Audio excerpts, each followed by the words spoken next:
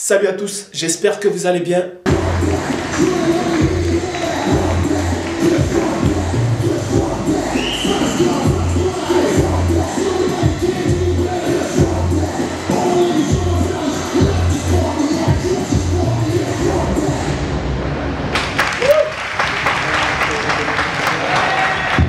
Alors aujourd'hui, je vais vous apprendre un nouveau geste. C'est le ATW avec le genou, c'est-à-dire le tour du monde avec le genou.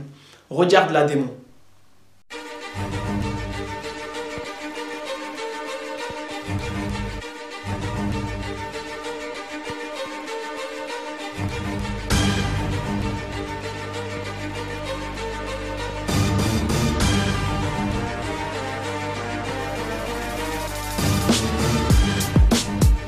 Alors pour réaliser le ATW avec le genou, il faut deux choses.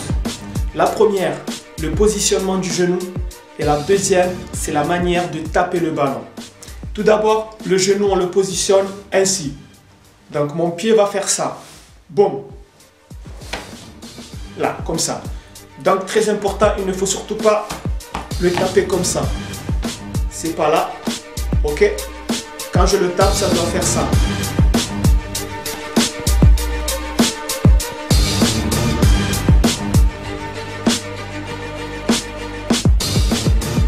Donc vous avez compris que le ballon, il faut le caresser. Il ne faut pas le taper verticalement, mais il faut essayer de le caresser sur le côté. C'est-à-dire je le tape et en même temps il va sur le côté. Donc là c'est le milieu du ballon. D'accord? Donc je ne tape pas le ballon là, mais je vais plutôt le taper juste là. Sur le côté.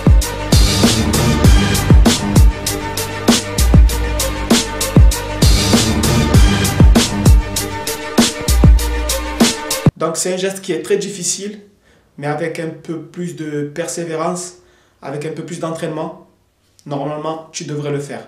Donc n'oublie pas euh, que tu peux me retrouver sur www.artisticball.com. Il y a aussi l'école Artistic Ball qui se trouve ici à Marseille. Sur ce, à très bientôt. Ciao